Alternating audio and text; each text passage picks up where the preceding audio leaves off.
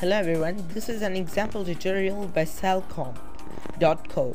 So for example, I'm giving an example that someone asked us that how to find CMD command prompt in Windows Vista. So we'll tell him that first of all go to start menu, type in on this place, this area, type in CMD, type in CMD and you'll find this one, uh, this icon and with name over here this one. Click on it and your command prompt means cmd will open. So like this will be your tutorial. Thanks. Get membership now and be a member